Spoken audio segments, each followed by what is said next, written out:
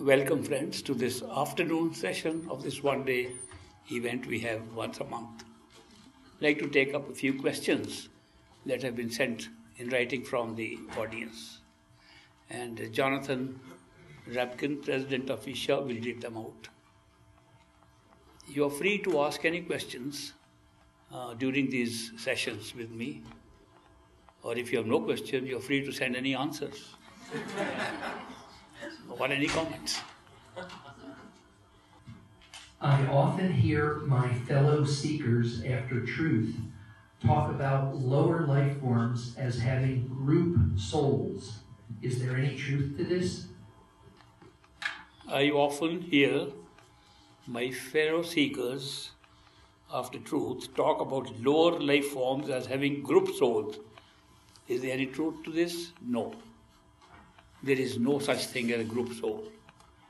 Soul is an individuated form of consciousness, surviving and living and creating in its own totality. The, the experience of individualization, the experience of individuation that consciousness experiences is unique. And that's not mixed up at all at any time. Though the experiences may create groups, but they are experiences, not experiencer. There is no such thing as a group experiencer. There is no such thing as several selves. There's only one self. Only one self creating the experience of the many. That's an experience, not a division of the self into the many. It looks like the many because that's a creation. So there is the individual soul who is actually the totality of consciousness, experiences the many within itself in order to experience one of its essential natures, which is experience of love. To experience that, the many are created within the one. And then they are given other forms like covering up with the mind to create space and time and cause and effect and karma and all that. Then they are covered with sense perceptions to divide perception and make it more interesting and then they covered with the physical bodies or physical forms or non-physical forms. Life exists in many forms, but the soul remains one single self. When one sees that everything is an illusion, that nothing is real, not GM, not Sachkhand, nothing, what is there to believe in, to have faith in? When one sees that everything is an illusion, that nothing is real, not GM, not Sachkhand, nothing. What is there to believe in, to have faith in? Nothing. Obviously.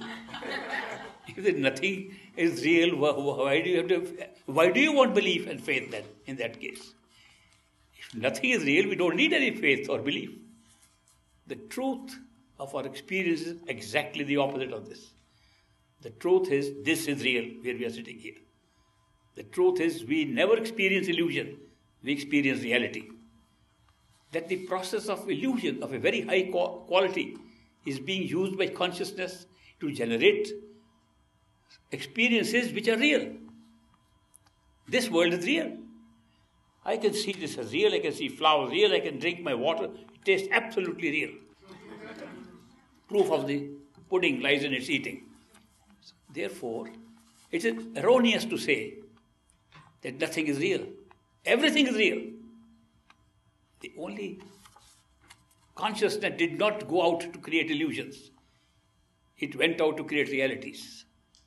This is one reality. It's not the only reality. When we are confined to this reality, we think it's the only reality. The fact that more realities exist can be, can be experienced through going through a process available to human beings in this reality to have experience of other realities. But they're all realities. Because when we experience them, they're real. As real as this one we are experiencing now. Shakespeare said, There never yet was philosopher who could bear the toothache patiently. That a philosopher can philosophize, it's unreal illusion, and go to the dental chair and he cries as a reality. Some mystics have said the only thing that makes this creation real is pain. When you get pain, it's real. The rest you can question. But pain is real. And therefore, we have, through consciousness, not created illusions. We have created realities. The process by which it has been created did not require building blocks outside of ourselves. The building blocks were parts of consciousness that generated the experience of reality. But we did not set out to create illusions. So this is real now. You sleep, have a dream. During the dream, the dream is real. You can't say in a dream, it's not real. Sometimes people say that. I know people have had dreams, I have had dreams where I told everybody, you know, I know it's a dream. If I really knew it's a dream, who are those people I'm telling? When I wake up, then none of them exist. So even when we are telling the truth, we are telling the truth thinking that we are talking to reality. If I were to believe that this is all unreal, would I waste my time talking to you? I am talking to you because you are real. So am I. The reality has been created at a certain level, and this is physical reality. And so long as we are in the physical reality, it's our only reality. Not only is reality, it's our only reality. You can say, Sachkhand is unreal. True home may be unreal because we are not there. Those, those things are just made up. Yeah? At this time, they can be called unreal. But what is real? Here we are here sitting and saying these things. We believe we are saying, talking in reality. When we go to these higher levels, we shift our attention and experience from one reality to another. Almost like waking up from a dream. The dream world was real. We didn't know where we were sleeping, who we were. We were the character in the dream. The self assumed that form and had the dream. That was real. Woke up, that became unreal. This became real. You wake up to a higher level of the astral plane, that becomes real, more real, and this becomes a dream. You go to the higher level, that becomes the only reality. All others become dreams. Right up to Par Brahm, beyond the mind, where the individuated soul discovers itself as unit of consciousness, and the forms are all what we thought were our own self. No mind, no senses, no body, and yet we are there as pure consciousness. We discover that, and yet even that is not real, but we think it's real. When we go beyond that into a totality of consciousness and discover even individuation was a cover upon us, created, it's also part of creation. And then we say the totality is real. The experience of totality is never real, no matter where we are. We create realities. There's one big difference between a physical human being who experiences different levels of consciousness and an a hum, a ordinary human being who experiences totality.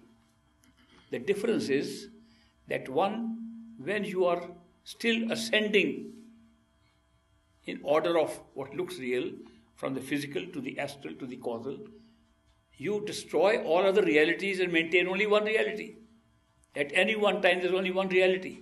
When you reach the top, what we call Sachkhand, a true home, when you reach the top and discover that the entire reality, levels of reality, were being created from there, your knowledge becomes total. Your awareness becomes total. You are totally aware of all levels. They are all real and unreal at the same time and you are, don't feel one is real and one is not. At every other level, one is real, one is not. So there is a big difference between a seeker who reaches the stage just above the mind, which we call Parbrahm. The individuated consciousness is there. Still, that's the only reality. All others have disappeared. When you go to totality, all are being experienced at the same time and all can be called real and all can be called unreal. When we talk of perfect living masters who come here, they have attained that state. When they speak to us, they speak in one reality, aware of all other realities. Not that they have to go somewhere to find the reality. Then they go to another level, they are talking there from that level and aware of all the levels. Any, any seeker who wants to find the totality and true home will have the same experience. That they can know all the levels at the same time. And then, will you call them all levels illusions? Yes, in a way, because they're created from consciousness. Are they real? Yes, because they have all the elements of reality. What are the elements of reality for us? As I mentioned earlier, the tree is real because we can use our five senses to confirm it is real. This happens at every level of awareness and consciousness. You use different perceptions that you have at that point, and through those perceptions, you verify one matches the other, must be real. That's a definition of an experience. So, it is not correct to say that uh, we are experiencing illusions. We are experiencing reality. I tell you an interesting event that happened with me. There was a very brilliant dancer in India. She was with Mahatma Gandhi for some time and set up an academy for teaching children dancing. And she invited me once to a performance of their kids and her own performance. And after that, we were having tea in her house. And she said, I would like to know what is the meaning of this phrase in our Indian scriptures that the entire creation you are watching is Maya, illusion. It doesn't look like illusion. Why do they call it illusion then? And the scripture speaks mithya and Maya. In, in Sanskrit and Hindi, it means that which is illusion, that which is, which is going to be destroyed, not permanent. Why do they call this creation like that? I said this word is very misunderstood. The word Maya does not mean illusion. The word Maya means that we have not been able to understand what part of our experience is real and what is not at any time. I gave an example. I said, Here's a cup of tea. We were having tea. Here's a cup of tea. Let's both taste the tea. This story gives me a chance to have my water. I said, Let's have a cup of tea. And when we had a cup of tea, I said, Did you taste the tea? Yes. Was it real?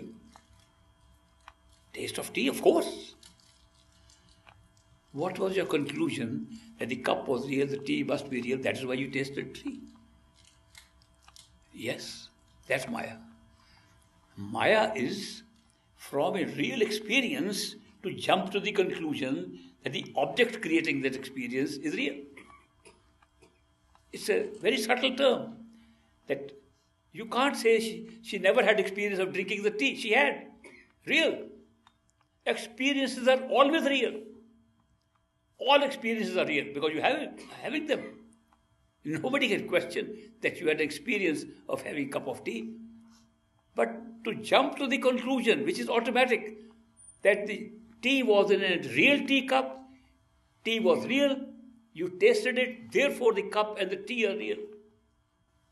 Maya explains that the reality of the experience is being transformed into reality of objects, which is not true. Now, same thing we can explain from a dream sequence. You have a cup of tea in a dream, drinking with a friend of yours. You drink the tea and you taste it, it's there. Nobody can deny you had the taste. You can wake up, you still remember you had a taste. The taking of the tea was real. You had the experience. But the teacup does not become real because you had it. You woke up, the taste was real, it's still in your mouth, cup was not there, tea was not there.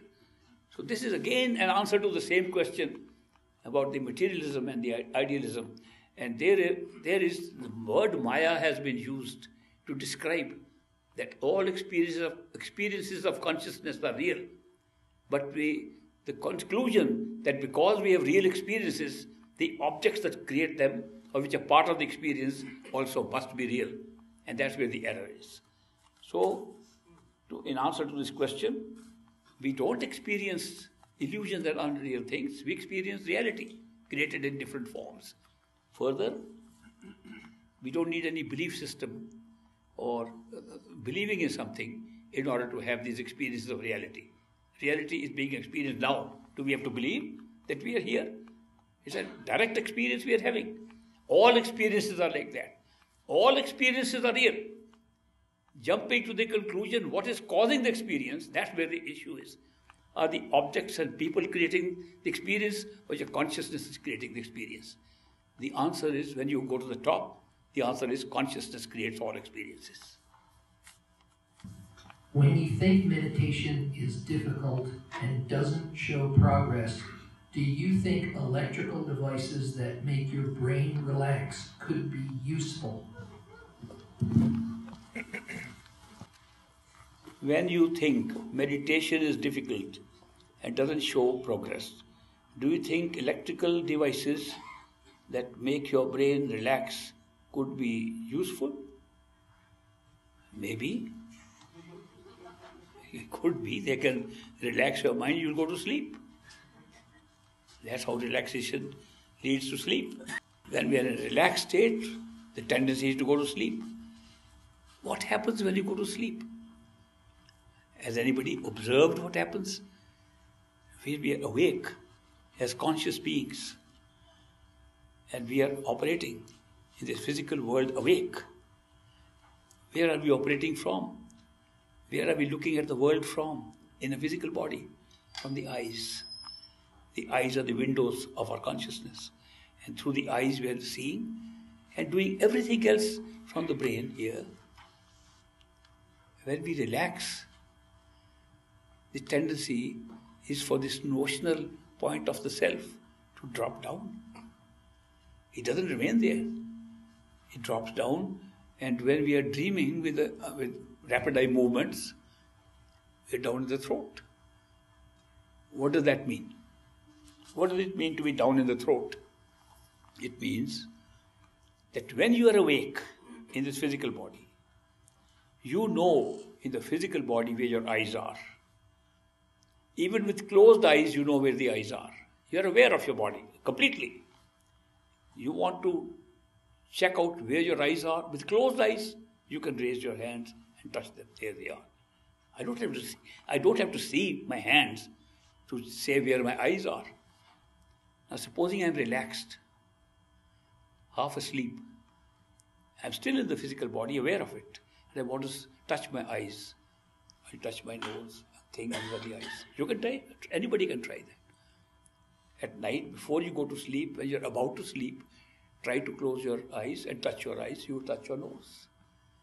The deeper we go to relaxation and sleep, the notional point where we are operating from seems to shift. It shifts downwards. And dreaming is at this stage, very deep sleep when you don't remember any dreams can go even further. And the yogis have practiced the art of withdrawing to the lower stage and relaxing completely through yoga and going to this heart, heart center. But relaxation does not give us the chance to explore who we are. This is a much better state when we are awake to know who we are than in a dream state or relaxed state. That is why we should be alert. If you want to make use of meditation as a means of finding out who you are, better to start as wakeful state and stay in a wakeful or higher wakeful state. For that, the notional point will shift upwards and not downwards. And this is something that you can watch after some practice, you can watch where you are. And therefore, using electrical devices to induce relaxation is good for relaxation. Relaxation is good.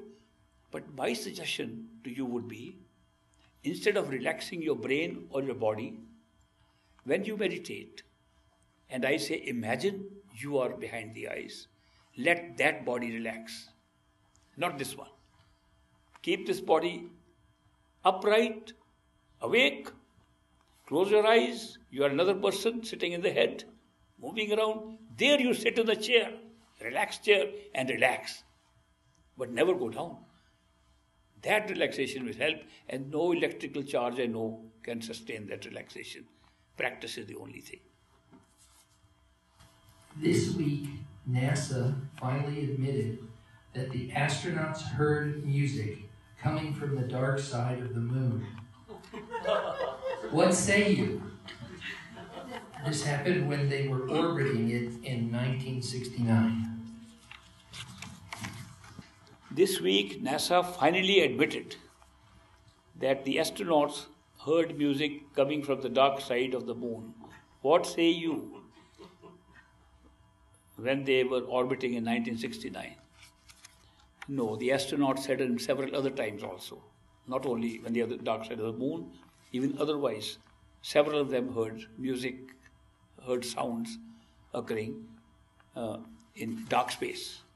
In dark space, and they say that there was no source of that music.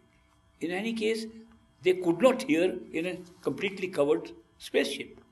The spaceship was insulated from the darkness. So the what would be the answer if you are in a completely enclosed case? There's darkness outside, and you hear music. Is it coming from the darkness, or is it coming from within you? They heard the music from within you. I tell you, you go to a very quiet place, the quietest that you can find, and sit quietly there, you will hear the same music the astronauts heard. Any place you can go. The music is inside us. When we hear, we don't believe it is inside, we try to find out where it's coming from. As a child, I had this problem. I would hear music and I would look out of the window where it's coming from.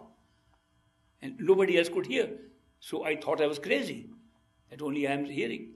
It was later on I discovered that we all have music going on inside us. And all of us can hear that. Just be quiet. A Persian poet says, Khamosh Panj Nabat,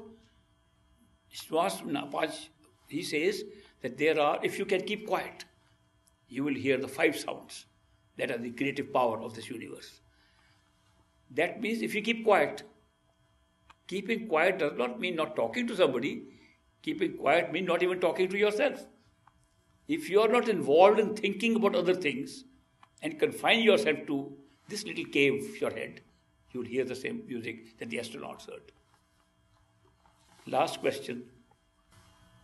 Do we go through karma on all three planes, or is it all mukh karma? Do we go through karma on all the three planes, or is it all mock karma. I have spoken earlier about karma many times. Basically, karma is working of the mind in a, in a way to cause the creation of cause and effect. The mind, when it creates space and time, it's almost almost an Einsteinian view, which has been the view of the mystics of the East that when you create space and time, you put something to create space. Einstein said if there was no matter, there would be no space. The more matter we put in, the larger the space. Space grows as, as energy converts to matter, space expands. The same thing is here that karma is created to create events. And events are created by intention to act. When we intend to act, we create karma. As it happens, the intention to act is a deliberate decision between choices available to a person. So, in order to be able to make a choice between alternatives available, you deliberate. You say this or that, this or that. Okay, this karma is created. Supposing you don't have an opportunity to do this, no karma is created. Things happen accidentally all the time around you, no karma is created. You decide using what we call our experience of free will. When we use our free will, karma is created. Karma can be amplified if what we intend to do is actually done. What is the effect of this? The creation of karma means you have created a cause for an effect to follow. The, we divide our intentions into good intentions and bad intentions. We don't remember the neutral intentions very much, but good and bad we remember. Now, when we do good, there's a guilt associated. No, there's a good thing, happiness associated. We've done a good job. When we do evil, bad things, there's a guilt saying this was bad. It is not necessary for somebody else to tell us. we have been indoctrinated by our culture, by our society, and grow, wherever we have grown up, as a human being in any culture or society, the moral code is imbibed from there. And we from childhood are indoctrinated into that moral code, and that's good and bad. When we intend to do something, that intention we classify was it good or bad. As it happens, the good intentions are not so pleasant or pleasurable. The bad ones seem to be more pleasurable. So we intend to do a lot of bad things which the moral code says are bad. So by saying it's good, we expect to be rewarded and we are rewarded. By saying it's bad, we are punished and we are punished later on because we are already expected to be punished. This is built into the system. This is the basis of the law of karma. This is a mental function. There is no karma on our true self, on the soul. Karma is a creation of the mind, experienced by the mind, and can be experienced in all the three regions physical, astral, and causal. It can only be created in one region, the physical. It, because this is the only region where you have a feeling of true free will, that you make choices. It can be created in one of the 8.4 million forms of life identified in one of the old scriptures in India. So the rest of it is all to pay off karma, to be punished or rewarded. In one lifetime, we can create so much because we are continuously, every day, creating karma in our mind. So we pay off karma in all the three realms, but we create only in one realm, and in one realm, the physical, only when we are a human being. Question hour over? Uh, almost. One last one. Is the last one? Last one. Okay, extended time. Did Jonathan make a mistake when he announced the next two community meetings? Did Jonathan make a mistake when he announced the next two community meetings? Answer Oh, thank you. Answer Why, yes. Yes, he did.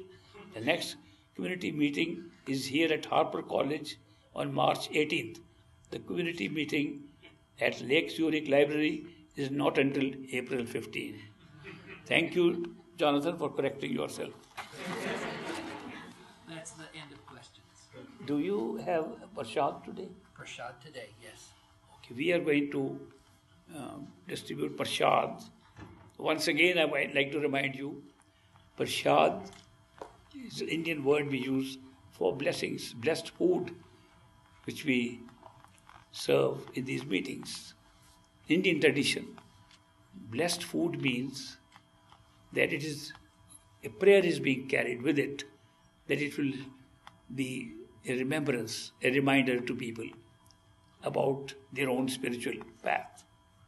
Prashad, this kind of blessing, does not convert the material form or the food item into a new molecular structure especially it does not become medicine.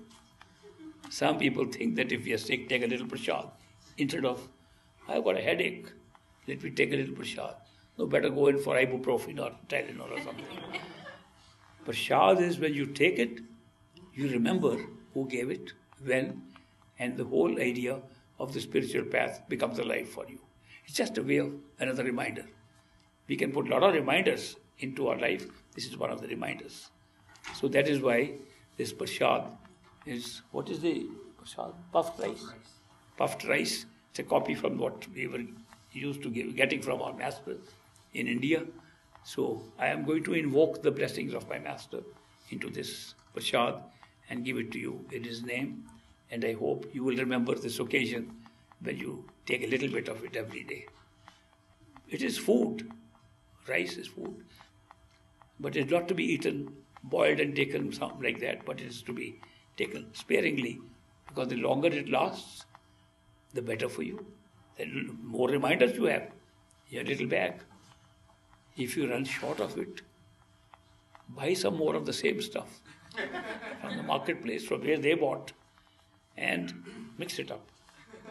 Don't mix at the very end. Mix it up when one third is left. Then shake it up You will never know which was prashad, which is not. All of it will become prashad. That is how we used to do. We, we used to have unlimited supply prashad. Every time it went down, one third, mix some more, make it more, till we could go again to master the events and get fresh one. I was surprised to meet people who are holding prashad from 1945, the original one. I met them in California recently.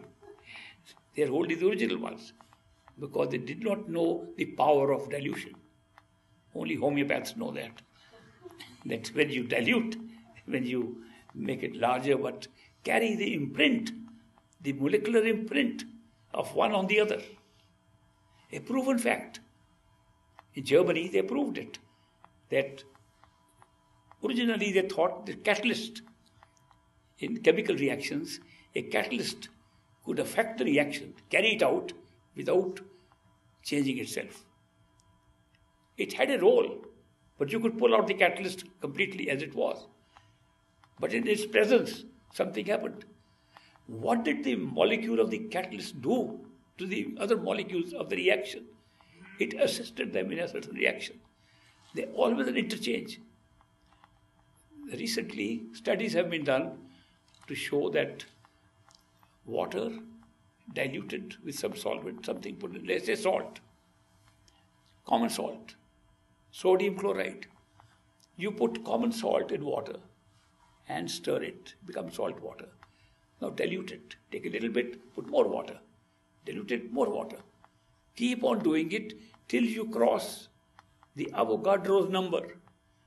Avogadro's number is that beyond which there can be no molecule left. Because the number of molecules you start with is limited. As you dilute with more of the water, the, at a certain point, which is the 17th level, in most cases in water salt, it will be the 17th level of diluting by 100 times of the water every time. 17 times you do it, it crosses the Avogadro's number. So there is nothing left. Whatever can be done with the original salted water can be done with that. It has acquired the properties of salt with no salt in it.